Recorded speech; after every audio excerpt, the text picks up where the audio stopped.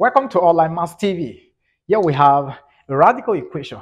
And in this radical equation, it looks so simple, it looks so straightforward, but not as simple as you may think. And this radical equation, um, I want to find the solution to this radical equation. And from what I've observed so far, uh, there's no real solution to this radical equation. Let's check if there are real solution or no real solution to this radical equation.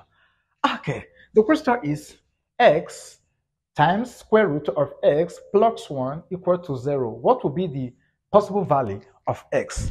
We put down the question first. So we have solution.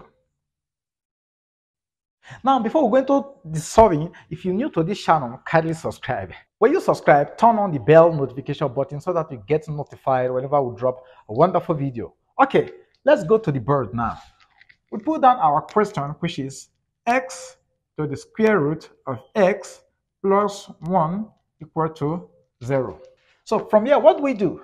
Let's send this one to this other side of the equation. And so we're left with x to the square root of x equal to minus 1. The radical is a constant. So how do we handle this radical? Good. We take the square of everything of both sides of the equation. And so we're going to have this to be x to the power of 2 bracket the square root of x or to the power of square equal to minus 1 or squared. Okay, now if you look at this carefully, it is easy now. The square of minus 1 will give us 1. And the square of the square root of x, these two will take care of this square root, which is the radical. And so we're left with your x to the power of 2 times x equal to 1, which is automatically s to the power of 3, because here is to the power of 1. So since the bases are the same, we add the exponent. Hence, we have here 3. They're equal to 1. Easy. If we decide to take the cube root of both sides, we're going to come up with our s to be minus 1. And if you plug x minus 1 into this expression we have here, it will not give us 0. The left-hand side of the equation will not give us 0. Okay, so what we do here is this. Move this one to the left-hand side of the equation. And so we're going to have this to be s to the power of 3 minus 1 equal to 0. Now, if I raise this to the power of 3, it has not changed anything because 1 to the power of 3 will still give us 1. And so, what will this give us? So, let's move from here and see what this gives us in turn. So, from here, recall your algebraic identity which says that if you have your x to the power of 3 minus y to the power of 3, this is equal to the bracket x minus y close bracket bracket your x squared plus your x y plus your y squared. Okay, so if you look at this, what we have here is similar to what we have here now. Okay, our x to the power of 3 is x to the power of 3. Our y to the power of 3 is 1 to the power of 3 here. So let's use this and bring out this. And so this now implies that our x to the power of 3 minus 1 to the power of 3 is equivalent to your bracket x minus 1 close bracket bracket your x squared plus your x dot 1 okay? There plus your 1 squared. Okay. From here mind you we're having everything equal to 0 here on this other side too okay? All right so from here we're going to have this to be bracket your x minus 1 the bracket your x squared plus x plus 1 equal to 0 if we apply the zero product rule, there it means x minus 1 equal to 0 or our x squared plus x plus 1 equal to 0.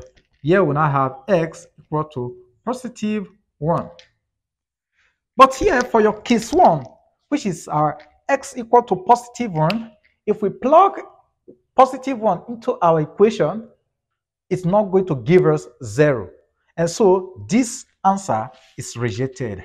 Okay, our x1 is rejected. we reject this because it's not satisfy our equation. So if this is rejected, we go to our case 2. So let's take case 2. Where is our case 2? Case 2 says that your x to the power of 2 plus x plus 1 equal to 0. Now this is a quadratic equation. Let's solve this quadratically. We cannot use factorization method to solve this. So let's use the uh, formula method. Applying our formula, we have our x equal to your minus b plus minus the square root of b squared minus 4ac all over 2a. Good. Let's go ahead and bring out our a, b, and c from this quadratic equation. So here we have our a equal to positive 1, b equal to positive 1, and c equal to positive 1. Again, let's proceed on this side. Okay. All right. So let's substitute these values into our quadratic equation. And so this will give us here our x equal to your minus, you'll have 1 plus minus the square root of 1 squared minus 4 dot 1 dot 1. Okay, all over 2 dot 1. So this is equal to your minus 1 plus minus the square root of 1 minus 4 all over 2. Very easy. Okay, this is equal to your minus 1 plus minus the square root of minus 3 all over 2.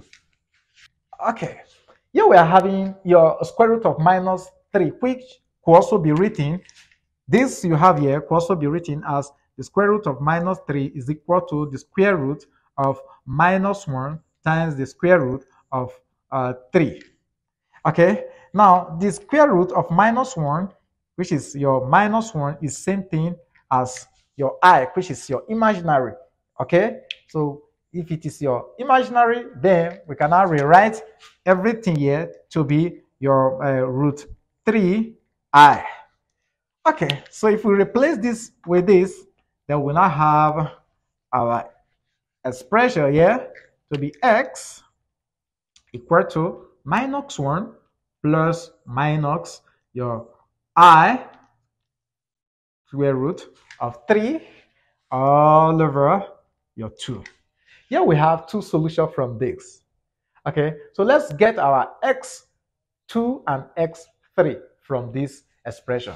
So we now have our s2 and s3 from 1 minus 1 plus your i square root of 3 all over 2 or we have your minus 1 minus your i square root of 3 all over 2. Now we can rewrite these two expressions here now. So let's take our x2 is equal to your 1 all over 2 bracket your i root of 3 minus 1. Okay, this is our x2.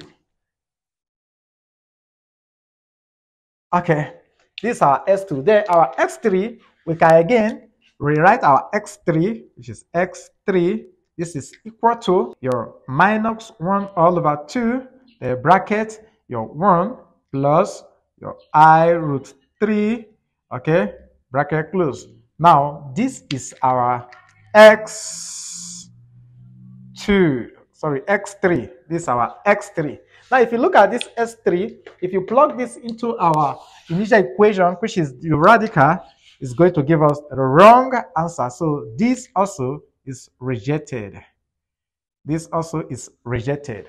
So the only accepted imaginary root that will satisfy our equation is this guy here.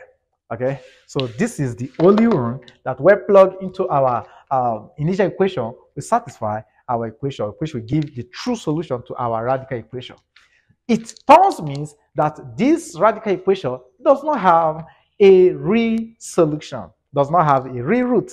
Okay, so this is the end point to this uh, simple but tough, radical uh, challenge, a radical equation. Okay, now this is Online Maths TV, and my name remains Jakes, as you all know. And if you're new to this channel, here we drop mathematical uh, videos every other day for our fun, for our learning. Okay, if you're new here, do not forget to subscribe.